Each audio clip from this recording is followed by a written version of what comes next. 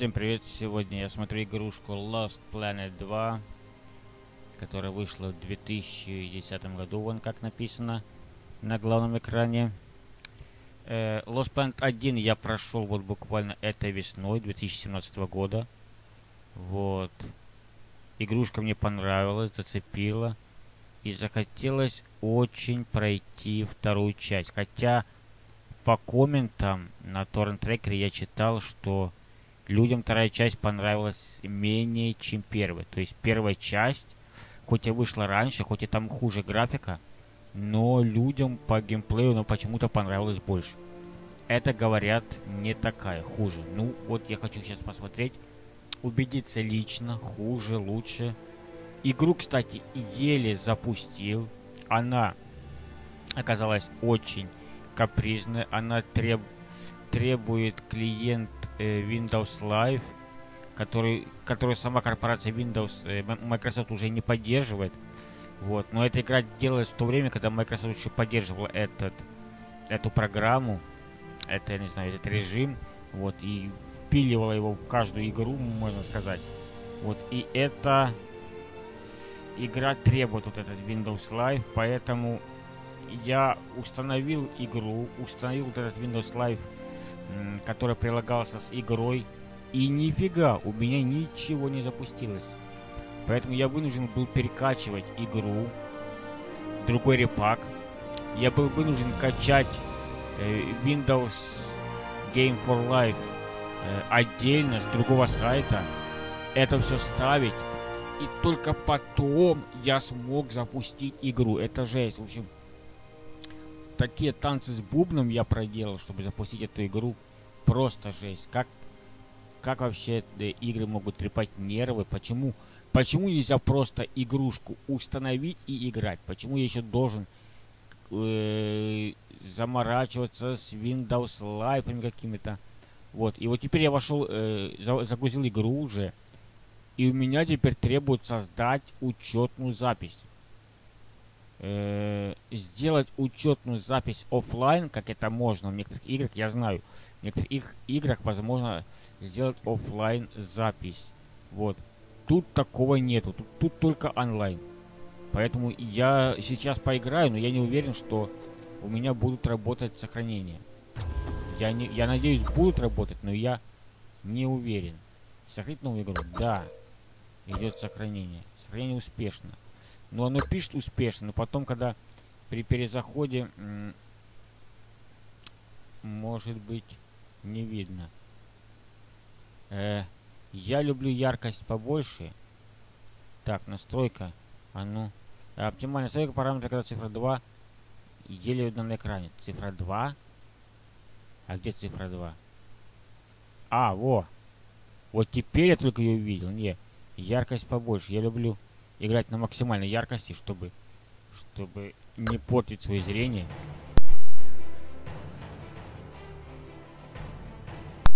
Так, главное меню, Лоспан 2, нормальный. Изменить уровень сложности. Не, ну нормальный пусть. Я не нуб, но и не хардкорщик, поэтому э, лишними сложности не нужны. Но и сильно легко, наверное, тоже будет неинтересно. Так, компания. Играть в режиме компания. Что еще тут есть? Что еще тут есть? Сетевая игра. Тренировка. Изменить своего персонажа и посмотреть статистику. Настроить параметры игры. Ануварст это движение. H ходьба. Shift пригнуться почему-то не бег. 4-1 поворот. 90 градусов выстрел. Граната. F кошка. По-моему, первой части была кошка, да. Сменить оружие колесико. 3 бросить оружие. Зарядник Энг. Что зарядник Энг? Прыжок Space, С уклонение, Е рукопашная атака. Блин, сколько же кнопок? В рывок, R перезарядка, Z приблизить. 5 ночное видение даже есть. Ctrl.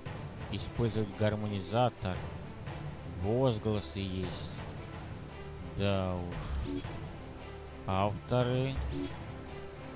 Ну, наверное, поиграю просто обычную компанию. Во втор- э, первой части э, по сюжету главный герой был на какой-то планете заснеженной.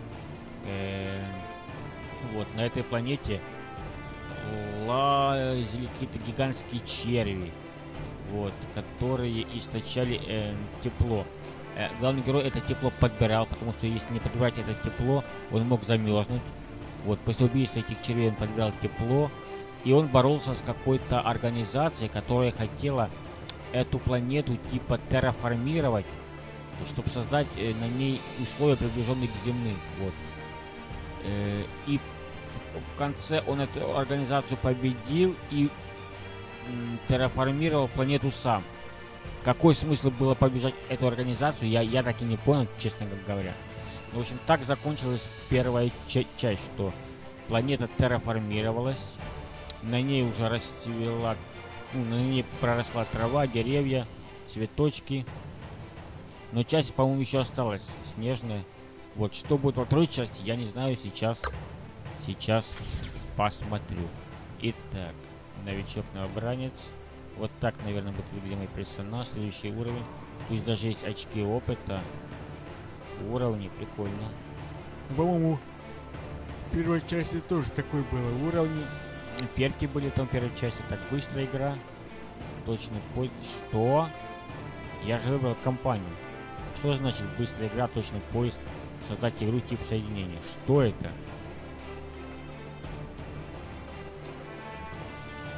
Какая-то странная компания.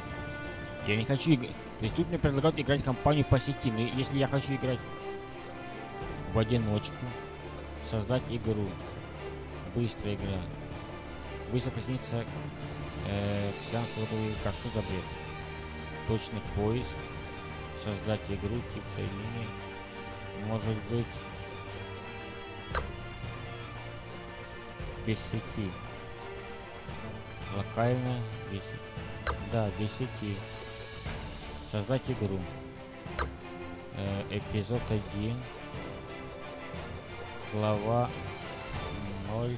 Уровень сложности нормальный, легкий, сложный, нормальный. Так, огонь союзников. Отдача, откол. Ну зачем мне огонь союзников? Комп игроки 3. А, это максимум. Ну окей. Погнали. В общем, одино... э, компания, он оффлайн режим. Первая миссия.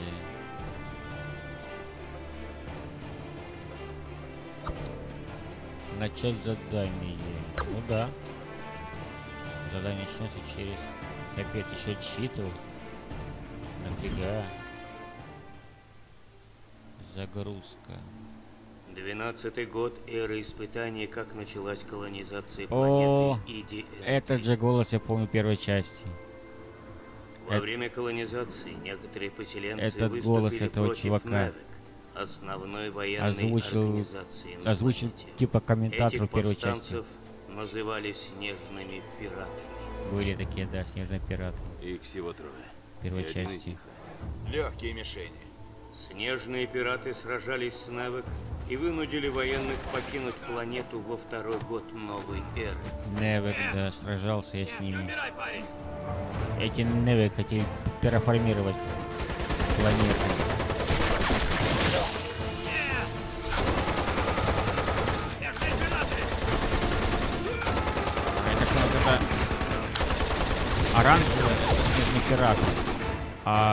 Бирюзовые кто? Оранжевые снежные пираты. Тогда кто вот эти бирюзовые? Невек, что ли? Что? У него гармонизатор. Используя новый источник энергии термоэнергии, снежные пираты создали гармонизатор, устройство, дающее им сверхъестественную способность Да, да, да. В первой части был гармонизатор главного героя.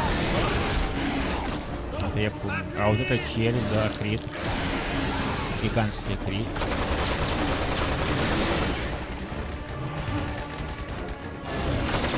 А вон мех. Да, в первой части игрок мог пользоваться мехами. Такие роботы большие, здоровые. Мехи были разные, помню, как, как просто шагающие, так и, и прыгающие высоко, и превращающиеся в танк. Разные были мехи, конечно. Это, эта фишка игры мне очень понравилась. Что мне можно не только бегать и стрелять, но можно передвигаться на здоровых роботах. Ну и еще тут, что мне нра- нравится, тут очень увлекательные боссы. Гигантские такие здоровые боссы, которые только интересно мочить. Я люблю игры с боссами.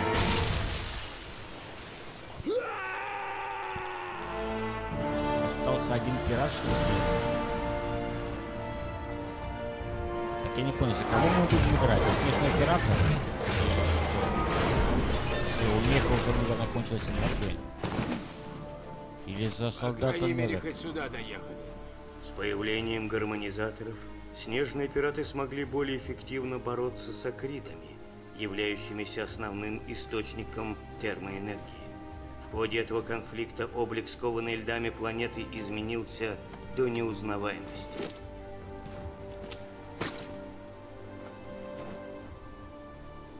На 12 году эры испытания планета Идиан-3 все еще остается погруженной в хаос и сумятицу. Зачем он снял шлем? На планете холодно. Нафига он... Иногда здесь э, персонажи в этой игре удивляют. И не поддаются логике. На планете холодно. Э, люди тут борются за выживание, за сохранение тепла. Этот человек берет, снимает шлем. Зачем? Классный меч.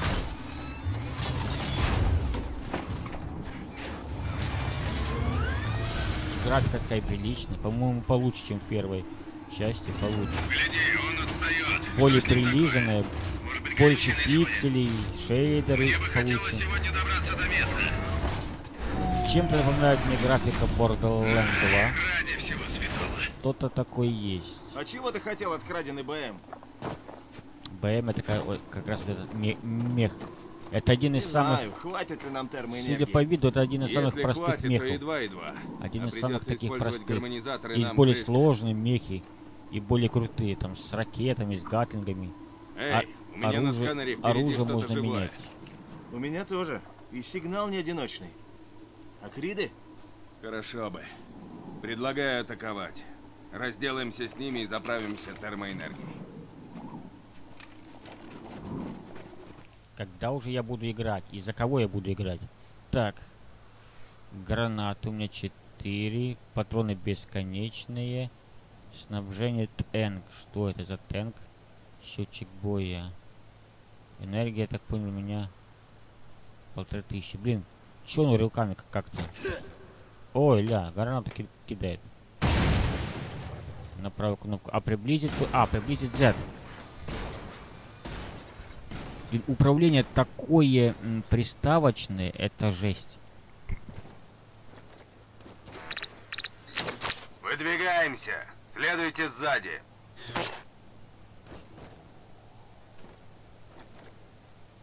Я понял, это боты, которые будут э, за меня биться. Прочитать Q. Чтобы изменить тип управления, нажмите Escape для вызова КПК.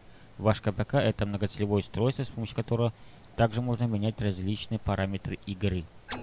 А ну-ка, КПК. Так, описание задания, нет данных. Так. Настройки.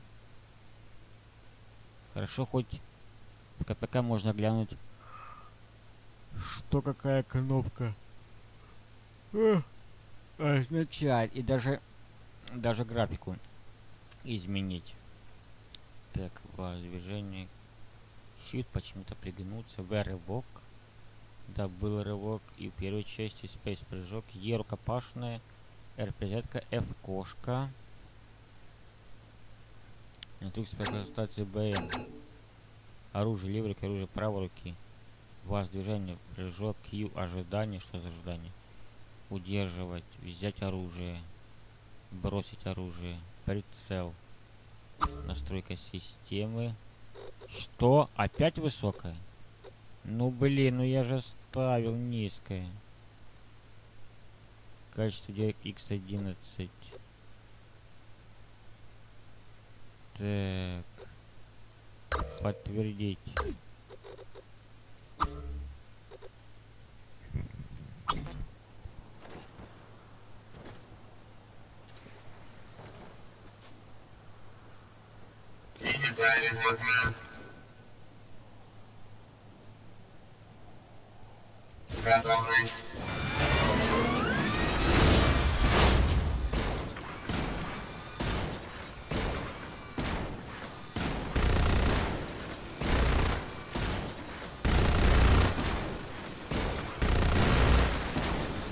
Разрушаемость объектов неплохо анимирована. Ну, в первой части тоже, помню, была разрушаемость.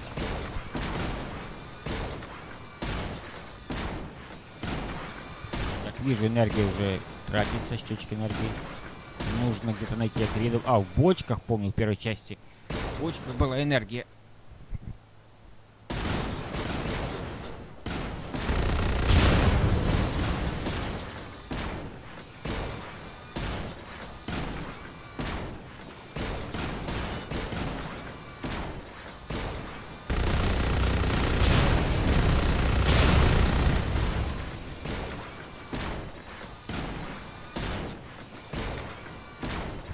Помню, помню, как в этой игре важно собирать энергию.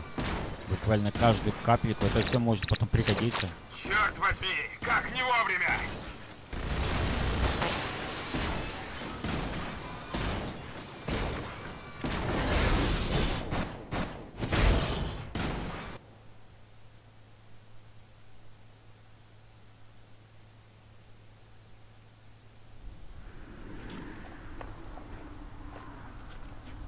Что ж, все прошло не так уж плохо. Не считая того, что мы потеряли еще одну БМ. Судя по карте, впереди есть база. Это хорошо или плохо? Понятия не имею. И когда я говорю впереди, это значит я не очень пойму, далеко. за кого я играю. Кто это? Что-то как-то игрока не пытаются вводить плавно в сюжет. Можно воспользоваться этим постом данных, чтобы определить дорогу. Кажется, госпожа удача на нашей стороне. А данные? Помню, помню. В первой части тоже были посты данных, активация которых давала энергию и типа чекпоинт это был.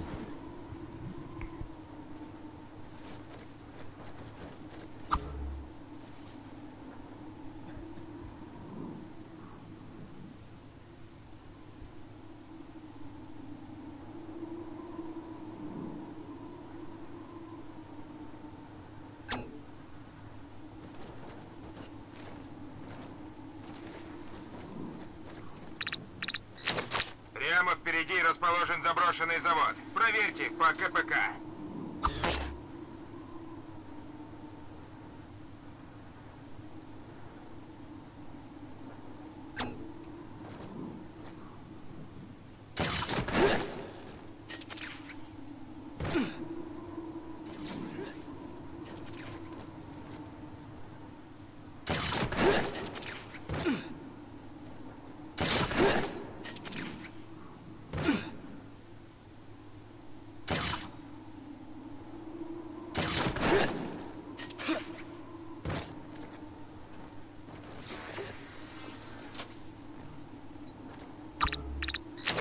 Мы сообщение от наших. Похоже, помощь на подходе.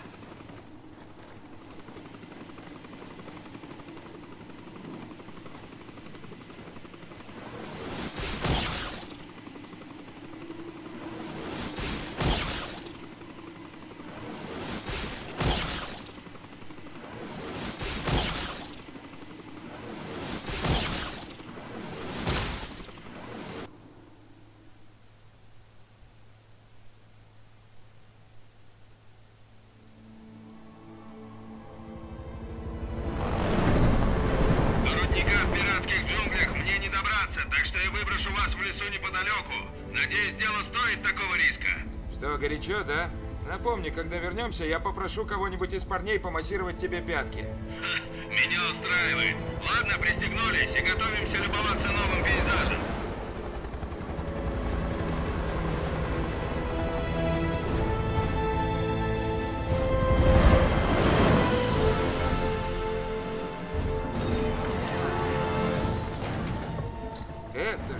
Еще такое? Добро пожаловать в джунгли, парни.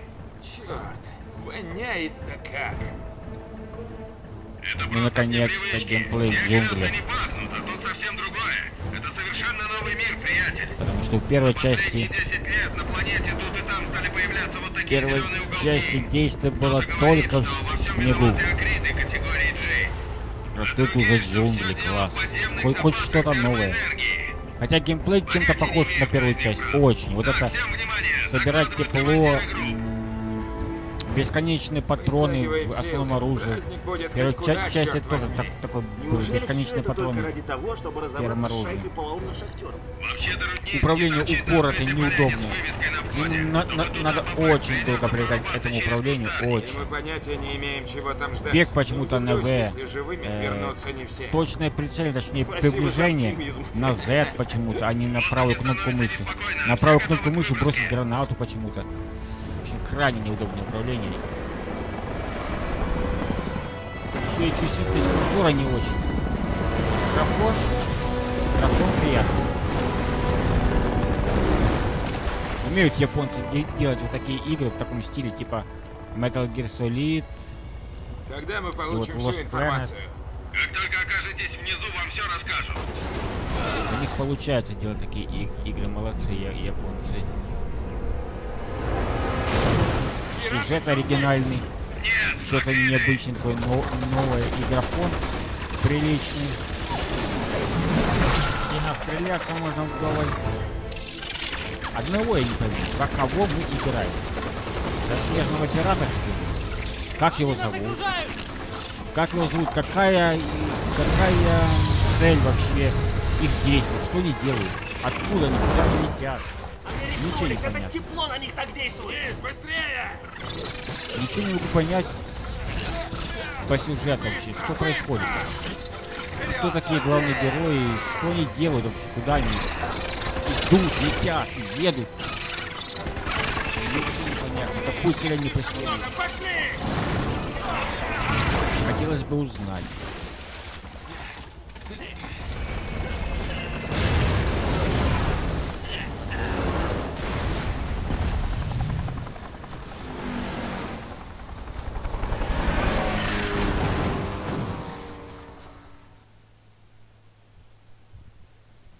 Интересно, их кто-то подбирать будет вообще? Они на плоту себе плывут?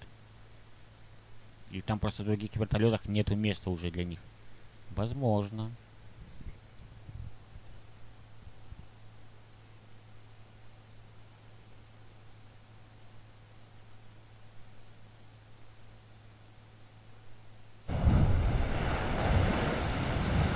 Мы на честном слове держимся. Я приземляюсь.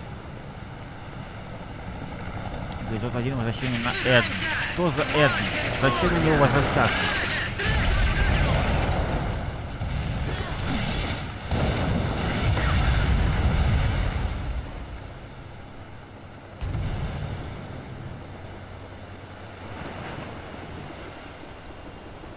Чем-то напом... напоминает Вьетнам и Ризинг Сторм 2.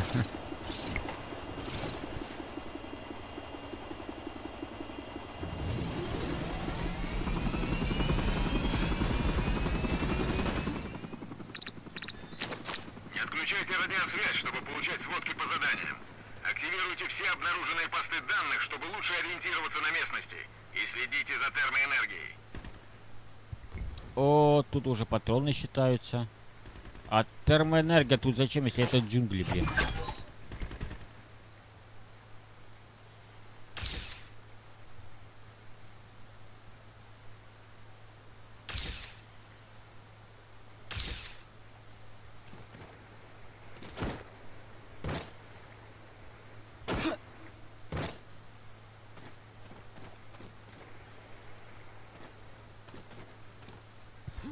Так, я понял. Уровни тут коридорные, да не могу. То есть просто идти по коридору и всех мочить. Про, э, не, колесико вниз меняет, короче, то, что я буду делать по, краво- по правой кнопке мыши. То, ли- то есть или гранату бросить, или выстрелить разрядником танк. Этот разрядник может как открывать сундуки особые, так и исцелять моих напарников. Интересно, что будет, если напарника убьют.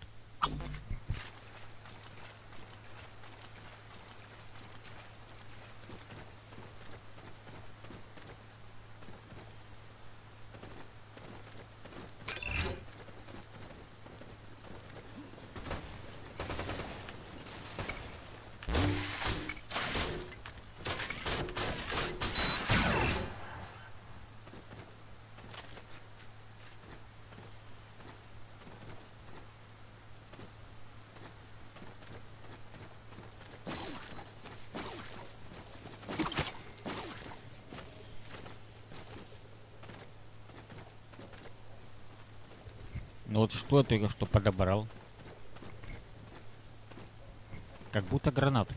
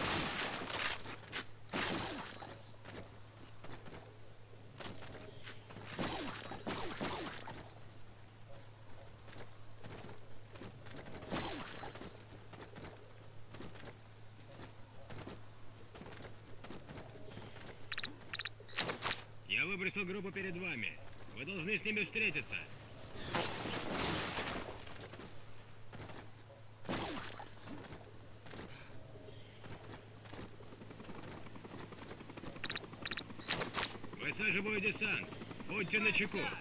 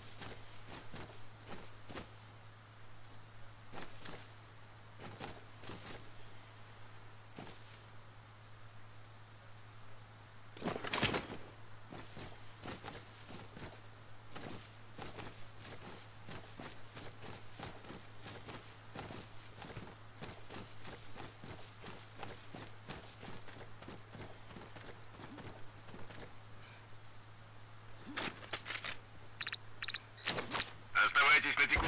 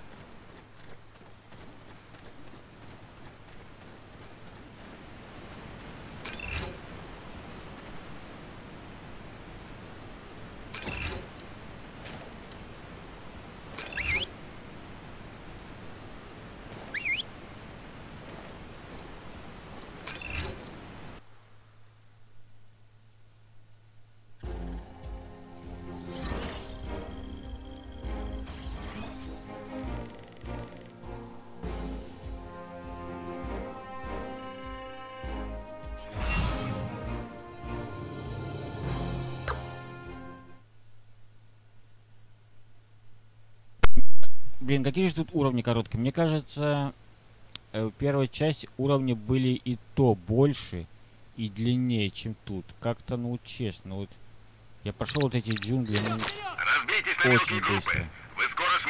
Но боссы интересные тут.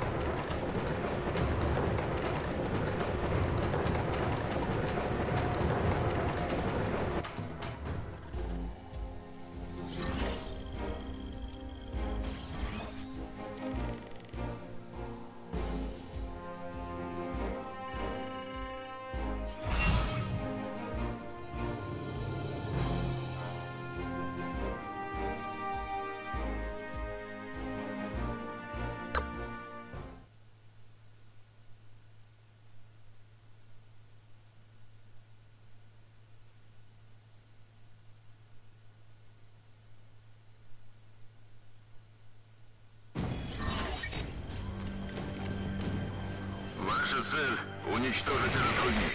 Так что слушайте внимательно. Шахту можно обрушить, если вывести из строя обе бурильные машины. Ваша цель разрушить рудник. Зачем? Зачем разрушать рудник? посту управления. У Говорю, боссов сюжет какой-то бредовый. Что-то создатели упоролись. Уровни короткие, короче, чем в первой части. 90 секунд. Причем начнет лучше, но уровни короче. Уровни очень-очень приставочные. генераторы. Вам лучше разделиться, каждая секунда на счету. Геймплей, в общем, не очень, не очень, да. Теперь я понимаю, почему вторую часть критикуют.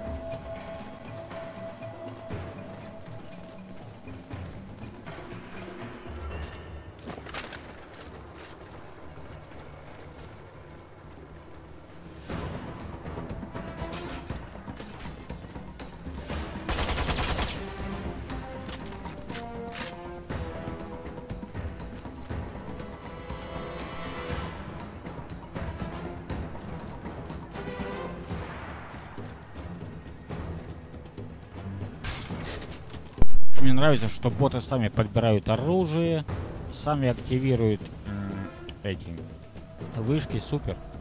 То есть облегчают мне игру.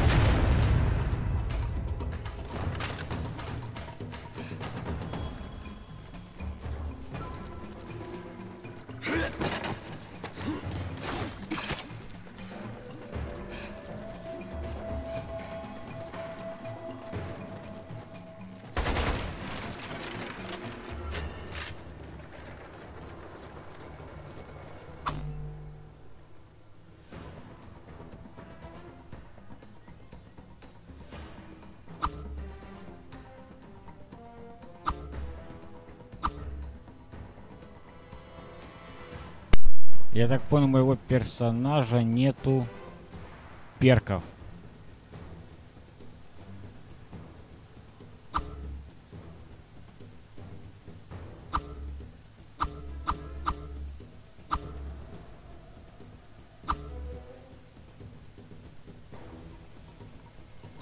В первой части я помню персонажа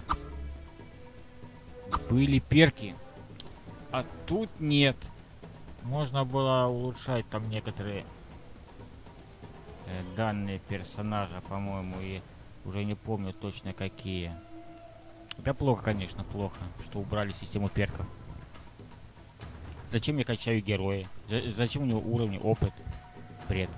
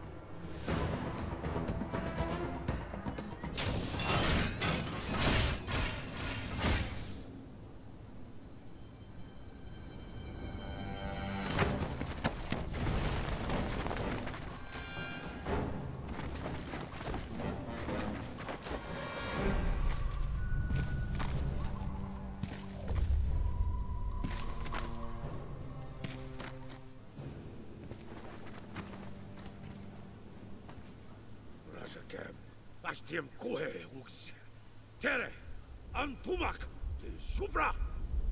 Bakure!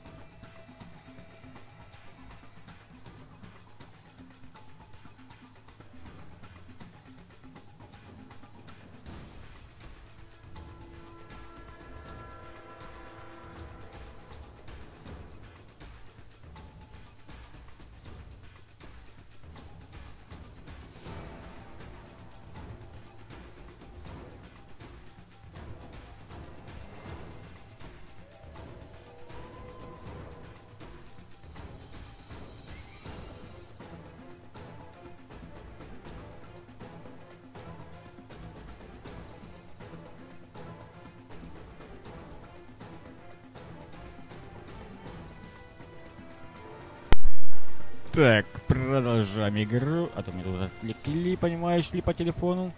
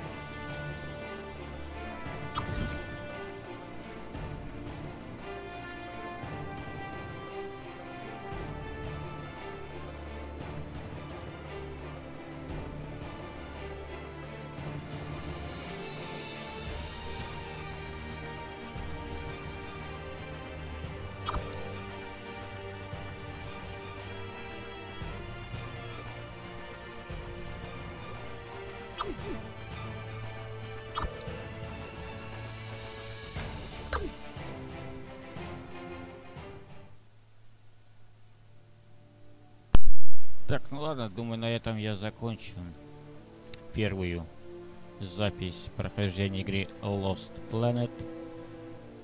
Прошел первую главу. На второй записи, думаю, пройду вторую главу. Возможно, вторую и третью. Всем спасибо за просмотр. С вами был Кочмар.